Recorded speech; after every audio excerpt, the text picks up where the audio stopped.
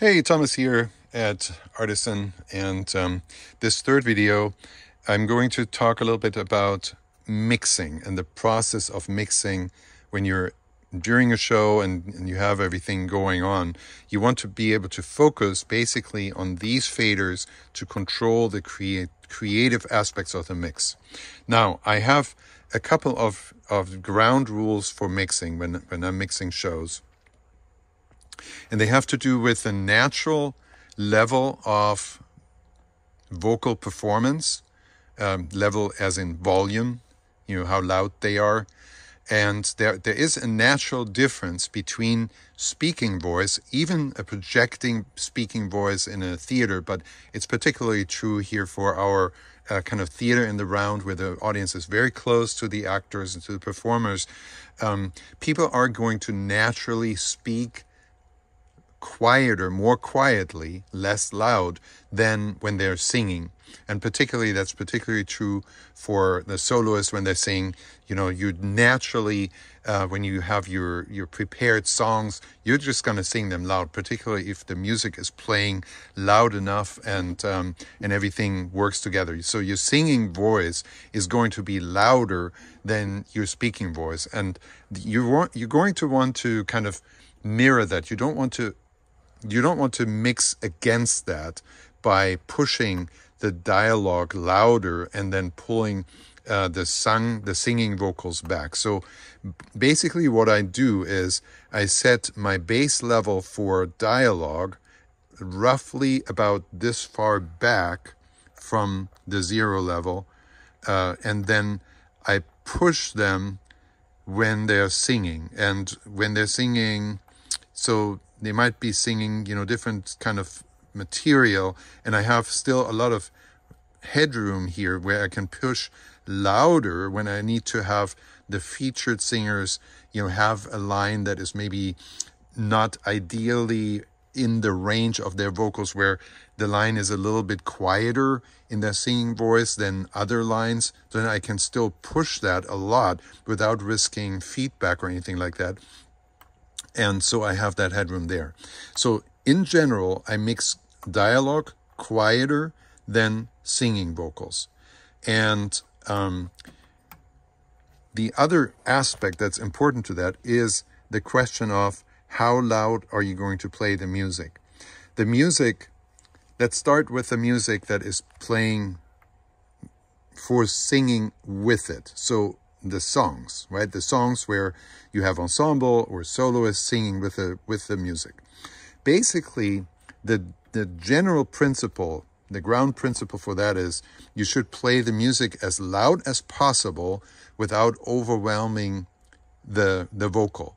So it should sound to you a lot like a pop song or you know something that you that you're familiar with so that uh, you know from the radio or from uh, from maybe recordings of Broadway uh, musicals where the music is usually quite loud and it has to be loud in order to support the singing so that the, the singer can actually hear the music well uh, and also to kind of drive the energy. You know, if you have, if you play the music very quietly, then the singers are going to kind of strain for um, hearing the music. They have to sing quieter in order to actually be able to sing, to hear the music at all. And that's not a dynamic that you want to support. So you want to uh, play up the music as much as possible without overwhelming um, overwhelming the, uh, the, the soloists or the, the vocal parts. Another aspect to that is sometimes, um, so within a, within a song, you usually have portions of the song where text and lyrics and uh, the, the delivery of the story and the content is more important than in others. So, as a rule of thumb, you can basically say your verses and maybe your introductions, your your, your slow intro to a song, those are usually uh, the segments where the text and the lyrics are more important than in the choruses. Choruses are usually, they, they repeat, they're usually written in a way that is kind of more outgoing and less intricate and less complex as far as the content of the lyrics goes. So, so what that means is you want to deliver basically a good balance, a good solid level that is not too jerky, jumpy up and down between the the soloists singing their verses in this in the solos and compared to their compared to their choruses right? So in order so with that said you want to have the vocals up pretty loud particularly the solo the solo is featured and then put the music up so loud that you can hear the lyrics well in the verses. So that means the music might be quieter in the verses and then you have you can actually drive it a little bit harder harder here uh, the music when the choruses come come along and and uh, you know everything kind of gets more energy and the vocalist might be actually singing louder because the choruses are often written in a vocal range that is more uh, in really their loud range where it's easier for them to sing loud and to sing out.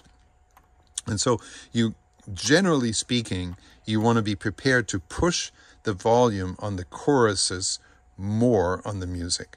But again, always you know be guided by the principle of not never covering up the, the the vocal. You never want to lose the vocal in the music. Okay, so the music always has to be a servant of the vocal, but this being a servant means it should drive the energy and you really, you know, embed the, the vocal in the music as much as possible. And that means play the music as loud as you can without covering up or without disturbing the, the vocal. And then, you know, when it goes back and forth between um, a, a, verse uh, and and the next chorus, you actually have to make sometimes fairly dramatic moves with the with the music fader, um, so that you get the the correct balance between uh, the vocal and and the music going. So be prepared to not just you know set the music and forget it music level, um, but be prepared to make you know some surprisingly big moves on the music between verses and and choruses. Um, the next aspect is balancing multiple singers when they're singing at the same time. So usually when you have duets or trios, you would usually have, you know, two faders um, that have to kind of be, you have to listen to how they blend, get, give them the right blend, make sure they are equally weighted, if that's what the music suggests. You know, if it's, if it's really a duet where, where they singing together, you want to make sure that you balance it out and you have to do it really with your ears. You want to put your, your fingers on both faders or all three faders and know which one is which and really listen to them and and you know feel your way to where it sounds exactly right where they're nice and balanced and mm, no one is overpowering the other and and they're good. They sound good together. And then with that usually i use my other hand. I don't have my other hand free right now because i'm holding the, uh, the camera. So i usually have one hand on the music and the other hand on the, the vocal parts that need balancing. And I'm, I really, you know, I drive it a lot. I might push, boost one. If they have a line that I know is, you know, written kind of in the lower range of the vocal and it, it needs more help uh, with amplification than, you know, when they're continuing to sing together later on. And, you know, again, you, you make way with the music by pulling it down. If there's a line that needs a little bit more help, you want to pull the music down a little bit, but then be prepared to rebalance that again and push the music up again once uh, once you have things um, material that is you know easier to understand and needs more energy and so forth.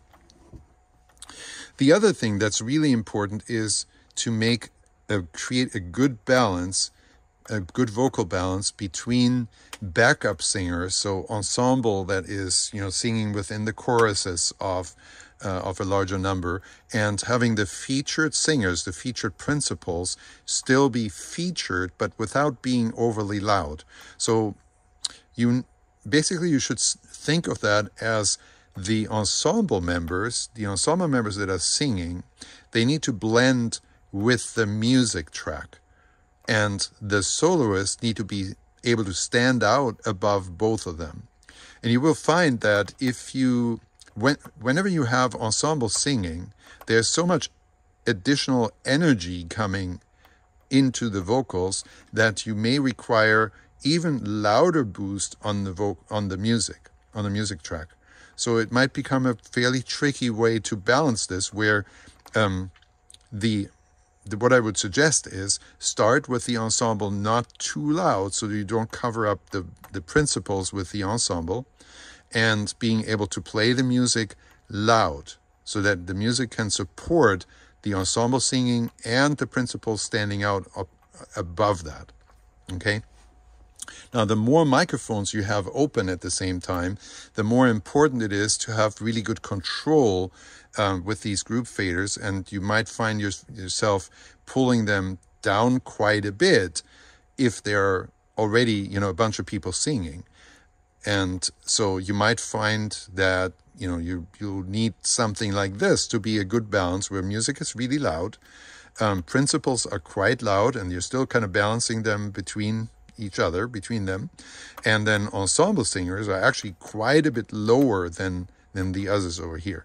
So what you never want to do is just kind of you know take your take your mic check levels and then just kind of set and forget it, put you know the music too quiet and have these guys all up. What you find when you do this is that the the backup vocals will be way too loud and they will be covering up the soloists and they will all strain for hearing the music. This is what I kind of hear, you know, a lot. The way that is, uh, some sometimes I hear some mixes.